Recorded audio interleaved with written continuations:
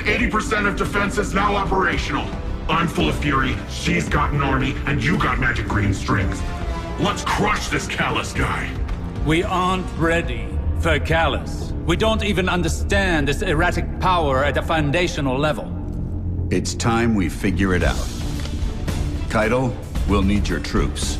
Nimbus, charge up as many of the remaining turrets as you can, while Osiris helps me to untangle this strand. When we think about controlling something powerful,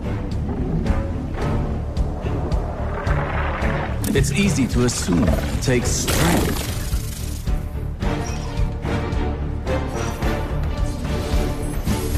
Determination. A force of will.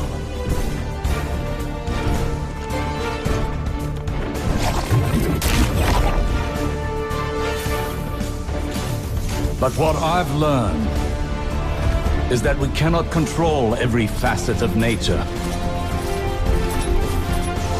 Instead of tightening our grip,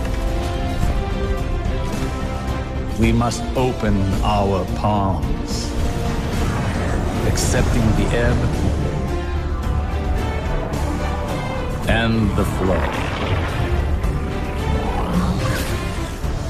Letting go in the face of grief in all its shapes. Through failure, through loss, we can overcome the impossible.